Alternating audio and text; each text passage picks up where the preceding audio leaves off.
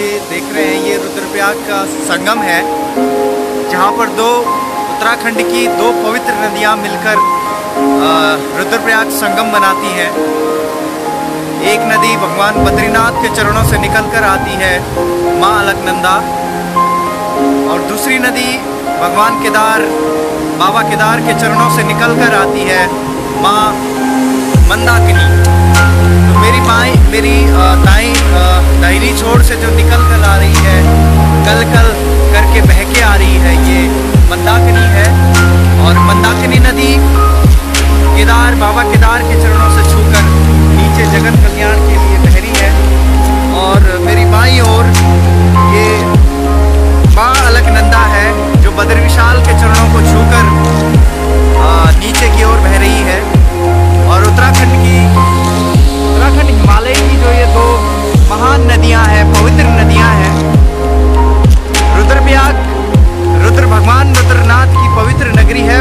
आकर मिल जाती हैं। और ये देखिए, ये संगम है, पवित्र संगम का नज़ारा आप देख रहे हैं, इसके दर्शन आप कर पा रहे हैं। दो महान नदियाँ संगम यहाँ पर मना रही हैं।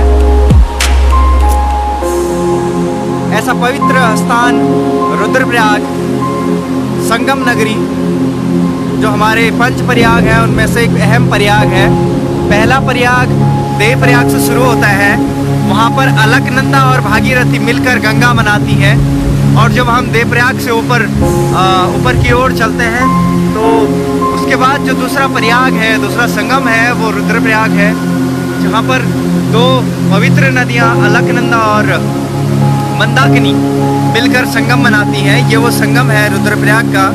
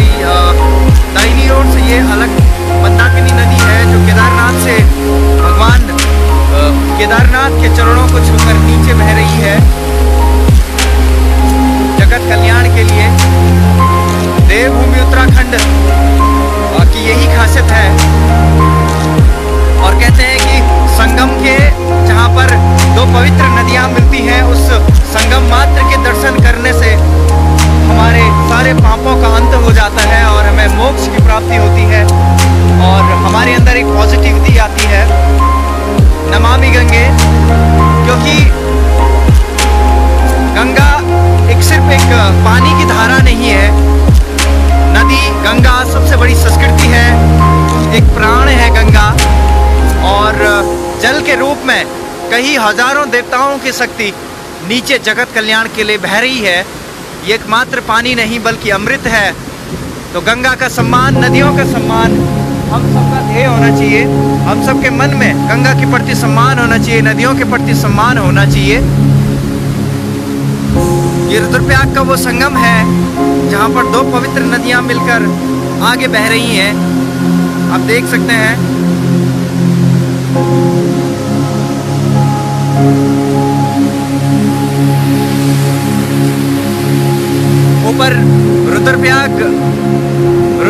भगवान की नगरी रुद्रप्रयाग का ये नज़ारा आप देख सकते हैं, ये रुद्रप्रयाग है। और यहाँ से ये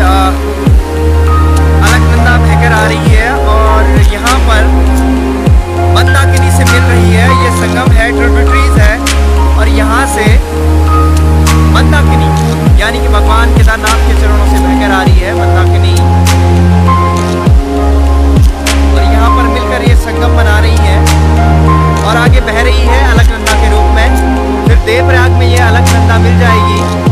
गंगा भागीरथी से। और आगे जाकर गंगा का स्वरूप धारण करके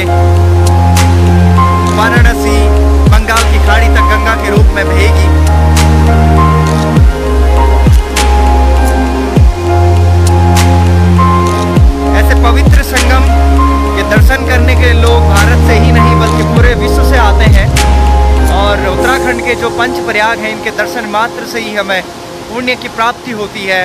क्योंकि मैंने कहा, ये नदी नहीं, बल्कि नदी के पानी के रूप में हज़ारों चौसठ करोड़ देवताओं की शक्ति बह रही है। जन कल्याण